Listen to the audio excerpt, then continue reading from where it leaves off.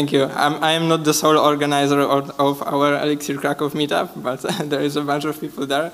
Uh, so shout out to them. It's a really cool meetup. It's streamed on YouTube, so if you'd like to watch, then uh, you're very welcome. And um, we, since um, React Membrane are reaching uh, the point where we are ready to release 1.0 version, I thought there is a good time to like share some um, lessons learned from developing this framework.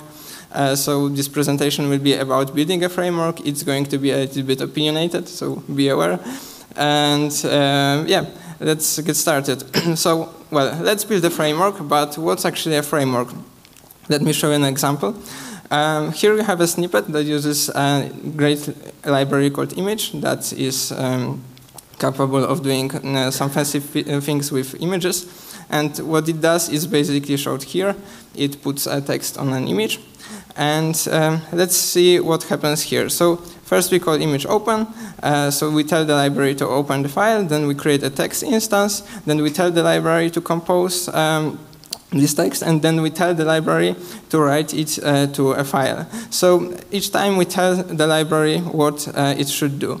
On the other hand, um, here we have another example of uh, Phoenix Live View. So here's an implementation, simple implementation of Live View where we implement callbacks. And then once we implemented this, the callbacks, and then we take the module we created and we put it here to the live macro, I guess. Um, and then uh, we basically tell the live view, here is my implementation, let's do your work. So we give the control to live view. And I think that's uh, what uh, like is quite characteristic for frameworks that we don't have a full control as users. Instead, we give the control to um, the framework.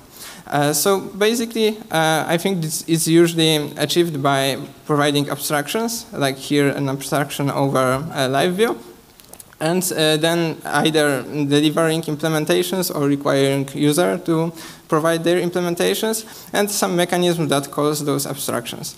So, well, is this approach good or bad? Well, of course, it depends. it's for sure more complex than a simple library because um, exactly because we don't have the, the user doesn't have control over the flow. That means the framework has to have control over the flow. That means we have to implement how to control the flow of things, which is complex.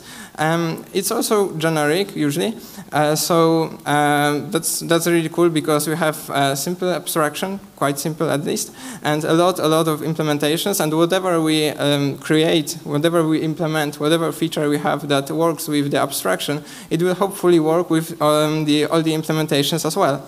Uh, so um, if we make it too generic, it will be hard to implement anything that works with such abstraction. But if we implement it not generic enough, uh, then, then it might mean uh, that the user won't be able to accomplish uh, some uh, tasks they, they want to do with our framework. Uh, so it's of course important to create the abstractions properly. So how to do that? well, there are a couple of approaches. The first one I call trust your feelings. So basically, let's say we want to implement a chat framework and um, Mm, we then we probably create some uh, behavior. There will be some handle message callback, handle user joined callback, handle user left callback. It feels right, yeah? So it should work. Uh, another approach is uh, to get inspired by other tools that are created in other ecosystems or that are uh, maybe not, that have maybe different assumptions that are a little bit different, but similar enough to get inspired from them. Um, and the third approach is to have already have some implementations and build an abstraction, build some abstractions on, top of, on top of them. Uh, so, for example, uh, if you have this uh, chat framework, then maybe it's better to implement first uh, text chat implementation and a video chat implementation, and then implement abs create abstraction on, on top of that instead of the other way around. Uh, so it's uh, quite, I think, generic takeaway that uh, sometimes is forgotten about.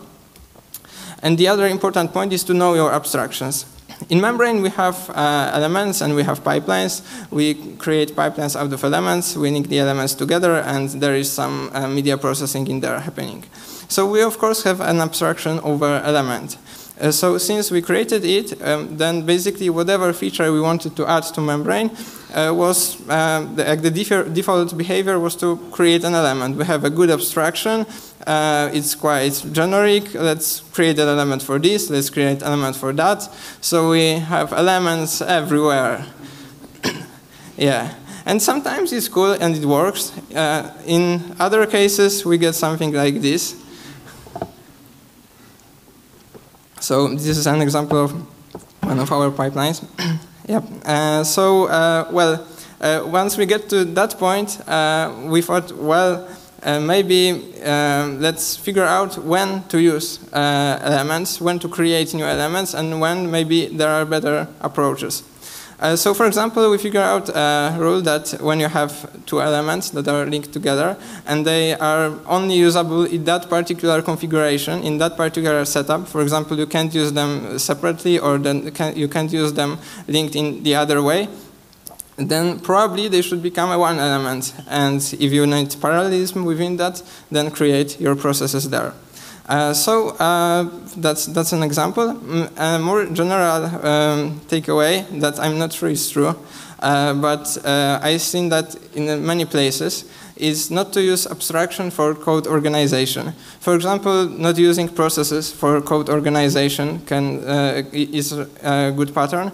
Uh, not using not using gen stage stages for uh, like for code organization or for reflecting your business logic uh, is also um, uh, advised. The same is uh, the case for membrane elements and probably for other abstractions too. At least they are explicitly designed to organize code, of course.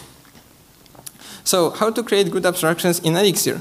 Well, we already seen two examples of creating frame of um, like abstractions uh, in Elixir in this presentation. The first one is of course the live example. The other one is a Phoenix router example. So while Phoenix Live uses callbacks to achieve uh, the uh, to to provide the the mechanism for um, implementing abstraction, uh, then the router uses macros. So it ha we have this scope macro, and we pass it uh, some arguments, and we pass it, it and we pass to it as well the code to be executed. So let's have a quick look at these two approaches. So callback-based interfaces are quite intuitive because they are everywhere. GenServer is callback-based, and um, moreover, there are some callbacks that are um, used in many places. For example, handle info callback, which is in GenServer, and it's used to uh, uh, handle all other messages.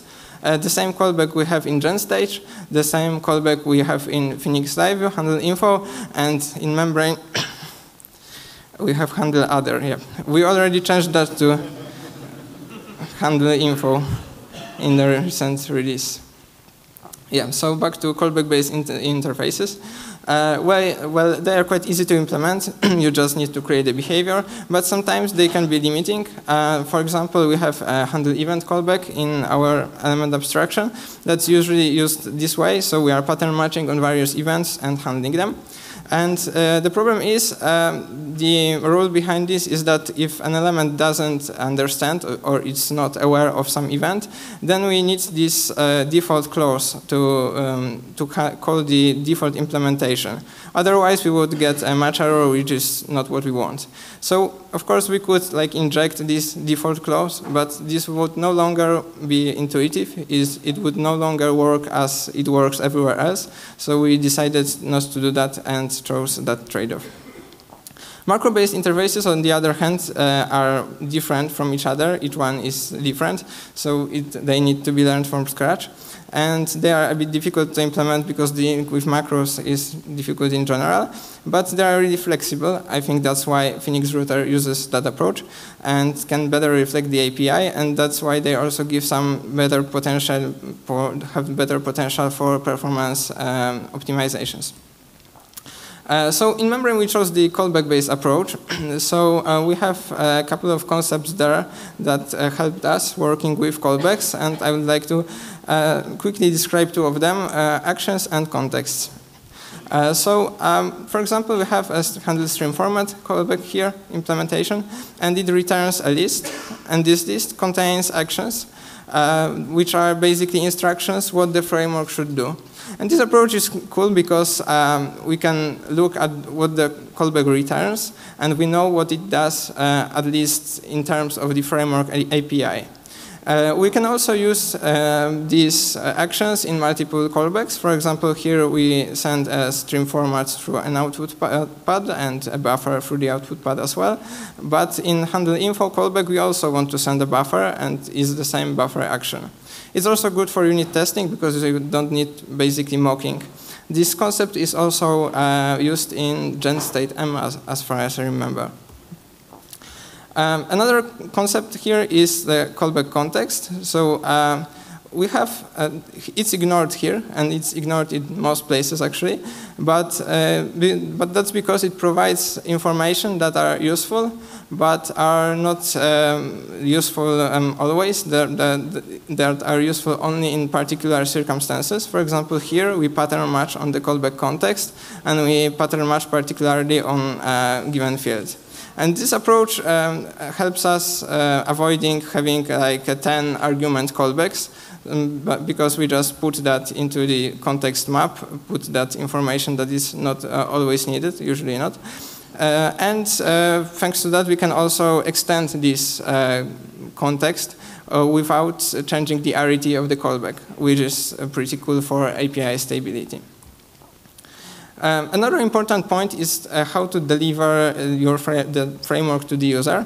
And um, in Membrane, we have the core, which contains the abstractions and the implementation of the core features, and plugins that implement the core. So in this case, we have to ship both uh, core and plugins.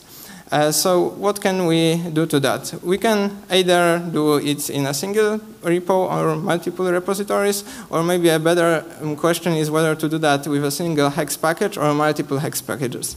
Uh, so we chose the approach with multiple packages because it, ha it has a couple of um, advantages. Uh, firstly, you basically, uh, thanks to that, uh, you only have in dependency, you only have um, the code you, which you have in the dependencies uh, is only the code that you actually use, or mostly. Uh, so you only have to compile what you actually use. Uh, also, you don't need to have all native dependencies installed because membrane, some membrane plugins require you to have some uh, libraries installed in the system. If you, if you had to uh, have them all installed, that would be problematic uh, because uh, you, would, you wouldn't actually need them. Uh, another cool feature is that when you deprecate a package, uh, then and you stop using it, the code is not there. Like uh, it's only in that package, and you no, don't no longer have that in the dependencies. You don't need to compile that as well, and uh, you almost can forget about it. Uh, well, but uh, I think the most important um, thing is that uh, we have, uh, thanks to that, uh, well-defined relationships between plugins, and that are, they are defined in mix.exs file via dependencies. So we exactly know which plugin depends on what, and thanks to that, we can, for example, uh, quickly see that some plugin is dependent on many, many plugins and or many other um, utilities, and it's like no longer modular. Um, we also cannot have like circular dependencies, so this approach protects us from that. I think this also can be um, achieved by using the boundary library, but I haven't tried it actually. Uh, so um, unfortunately, having multiple packages also have uh, has drawbacks. For example, you can have a dependency hell within your own framework, uh, which um, has which requires some um, attention not to not to let that happen and uh, a maintenance cost associated with that. We have in Membrane some uh, automation that helps us bulk updating and releasing packages, without which it would be really hard to do. And um, moreover, in, it increases the entry level. And what I mean is that when you visit a Membrane Framework organization, you can see we have 144 repositories there. So you may think, well, this is a cool uh, amount of software. Uh, yeah. But you can also think, uh, where do I actually start? And um, I learned this uh, when I was watching a talk um, that was given by Chris Ertel a year ago at the Elixir Europe as well. And it was about implementing an Elixir audio uh, library in Zig. And so first thing uh, that I thought when I saw this, uh, wow, someone else, not me, is doing audio in Elixir and is talking about this, so it's pretty cool.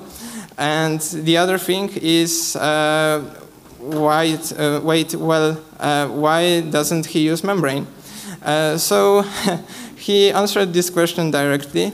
Uh, he said um, a couple of warm words about membrane, so that's why I can recommend you this presentation. But seriously, it's a cool presentation, uh, definitely worth watching. But he said uh, the membrane is too powerful because what he actually wanted to achieve is to play a honk, so a simple sound. Uh, so uh, actually membrane wasn't designed to play simple sounds, it was designed for serious streaming solutions. So, yeah. But it should be fairly easy to play a honk with membrane, and I really wanted to show you how, but I won't, because my laptop doesn't work with this, and, and I only have a presentation here. Uh, so uh, yeah, follow our Twitter, I will post it there. Um, oh, um, and uh, yeah, the, the, also the thing that I wanted to say during the demo is that uh, uh, we thought, well, um, there is a, a, lot of power in membrane, a lot of cool features, but you have to add all these packages relating to this multiple package uh, architecture. Uh, so this is not really cool for experimenting with things, with trying things, because each mm, major feature you want to add, you need basically another dependency. So for playing a honk, uh, we require three dependencies, as far as I remember. So what we did, we um, just created a package that we called GigaChat, because it brings a whole power of membrane to you within a single package. So Currently, it has some problems because you, for example, need all this uh, stuff in system that uh, membrane requires, but we are going to make it more, um, more compatible, more useful.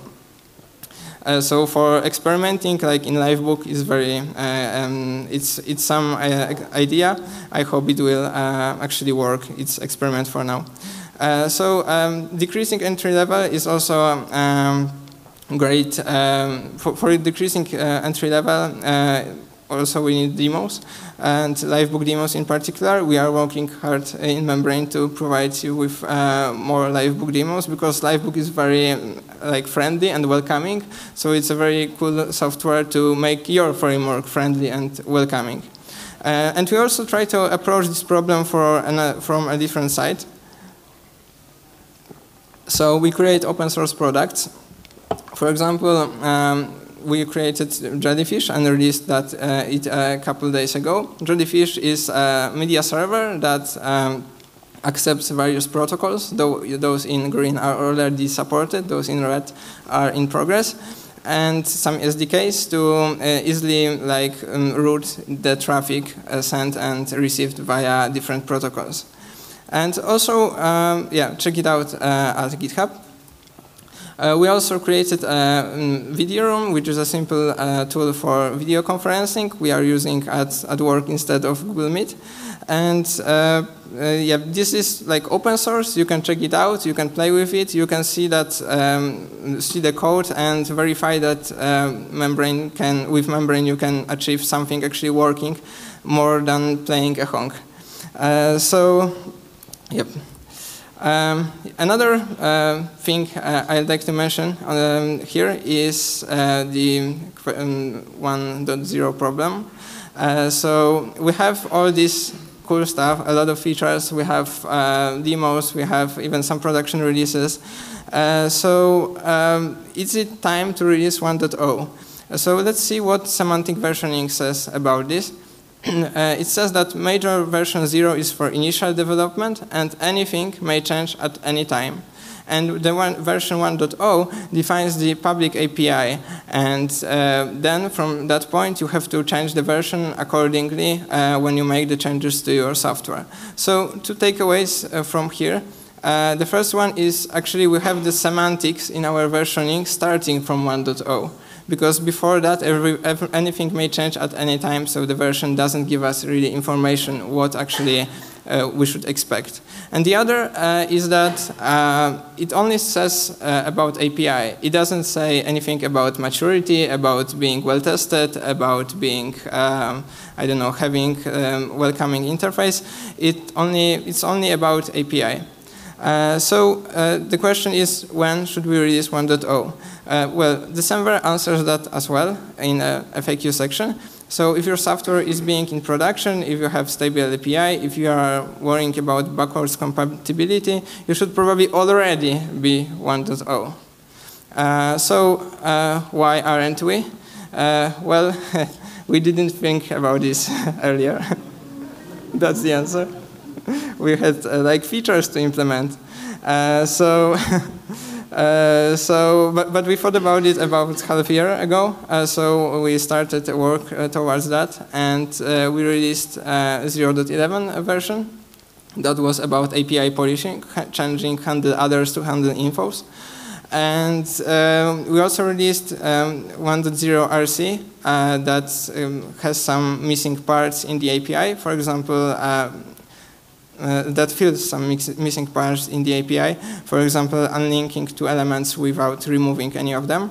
Uh, but uh, unfortunately, we also added some breaking changes there uh, because, uh, yep, and uh, and that turned out to be pretty uh, problematic because when you release a release candidate and it has breaking changes, it's hard to test like in a real product because you have to adapt to these breaking changes and you're not sure if this release candidate actually works. So in the um, potential problem with rolling back those changes is uh, quite uh, big. Uh, so uh, we actually didn't have a good opportunity to test this release candidate, we, while the release candidate is all about being tested, being verified. Uh, so that's why we are going to release 0.12 version, which are going to bring um, not full, but at least uh, partial backwards compatibility, so we can better mm, test the changes we made, um, the new features, and um, the test for regression um, mm, that uh, comes with uh, things that are going to be released in 1.0. And we are going to release another release candidate along with that. So a takeaway from this is that uh, when you have to break and you have some breaking changes and you have some features and you can put it in put them in separate releases, then definitely go for that uh, because uh, that's way easier to test the new features, test for regression, and the API changes alone don't have that much potential of uh, failure. Uh, so when are we going to release 1.0? Well, soon. uh, uh, the answer is we have pretty much implemented everything that we need, but uh, we are going to verify that it actually works. Uh, so the better answer is follow us on Twitter. And that's all I prepared today. Thank you for watching.